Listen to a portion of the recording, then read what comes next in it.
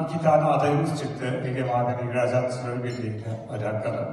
Biz hepimizin tanıdığı çok değerli büyüğümüz abimiz İbrahim Halimov abi.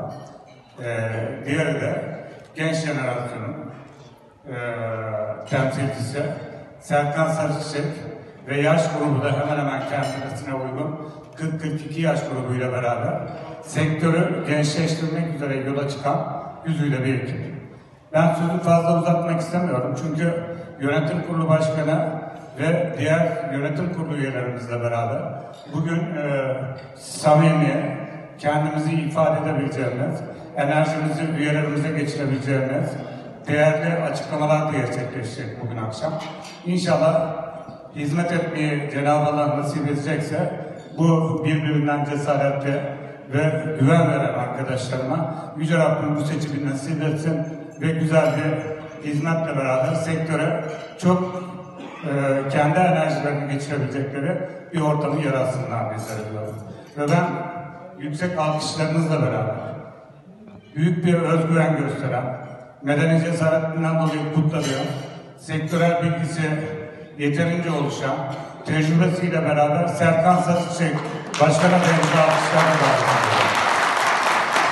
Hep birlikte bunu başarabilirsek ülkemiz için daha fazla katma değer sağlayabiliriz. Göreve gelmemiz halinde yüksek enerji maliyetleri, namlu ve ekipman sorunları, ruhsat güvenliği, fuardaki haksız rekabet ve sektördeki nitelikli insan kaynağı gibi sorunların çözümüne odaklanacağız.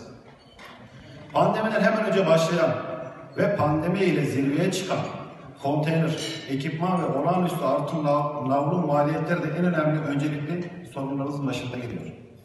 Bizler ihracatımızın neredeyse tamamını FOB yapıyor olsak da navlun fiyatlarının yaklaşık 5 katına çıkması ve buna rağmen ekipman sorunu yaşanması üreticimize ve ihracatçılarımıza önemli sıkıntılar yaşatıyor.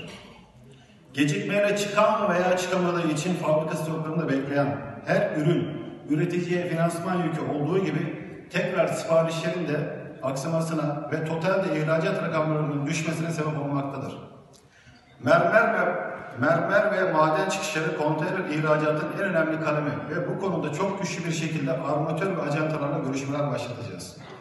Limanlardaki masrafları düşürmek için mücadele edeceğiz. Halklar ile yaşanan sıkıntılarda üye firmalarımıza gerekirse hukuki danışmanlık hizmetleri vereceğiz. İhracata konu olan ülkelerde müşteri alışkanlıkları, şirket incelemeleri ve tüm üyelerimizin birliğinden, imkanlarından eşit ve hakkaniyetli paylaşımı sağlamak proje çalışmalarımızın arasındadır.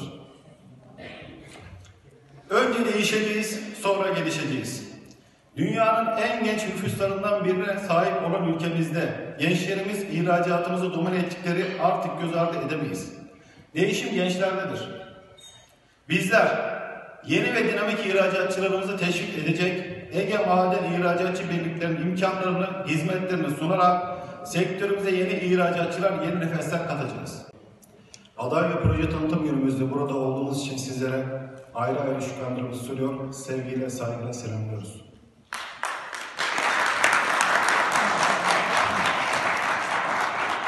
Değerli meslektaşlarım, Türkiye'nin toplam ihracatına aralıksız katkı veren sektörümüz yeni yönetimleri seçmeye hazırlanıyor. Genel kurullarda üyelerimiz bir karar verecek.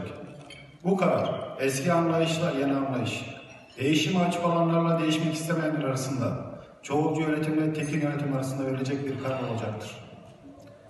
Ege Maden İhracatçı birliklerinde değişim artık zorunlu hale gelmiştir. Yıllardır aynı ekipler iş başında ve sonuç ortada. Bu yüzden değişim şart. Eski yöntemlerle bu kadar hızlı gelişen sektörü yönetmek mümkün değil.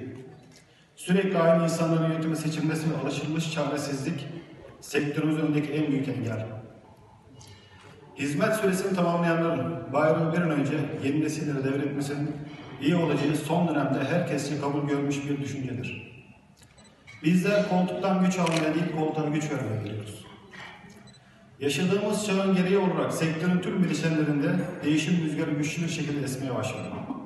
Bizler Ege Maden İhracatçı Birliklerinin tüm üyelerinden birlikte yönetim için destek istiyoruz. Her türlü karar ve girişimimizde sektörün tüm bileşenlerinden ve bireylerinden katılım sağlayacağız.